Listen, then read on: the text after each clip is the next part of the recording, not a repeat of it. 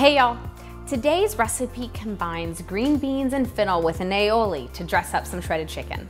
It's really amazing all the different combinations you can come up with once you learn some of the basic cooking techniques. As you get more comfortable with these techniques, I really hope you start playing around and coming up with your own ideas. And then I hope you share them with us. We'd love to see what you're doing. Now, let's get cooking. Begin by putting the chicken breast in the bottom of a pot. Season with salt and pepper.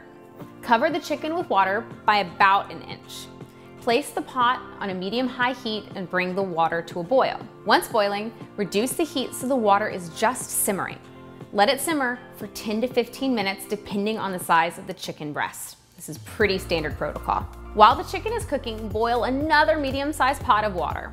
When the water comes to a boil, add the green beans and fennel and boil for five minutes. Once done, drain and rinse with cool water. Once the chicken breast is done cooking, take it out of its pot and let it cool for a few minutes, about five. When the chicken is cool enough, use two forks to shred it. Mix the chicken, aioli, and veggies together and portion out onto two plates. Let's get eating.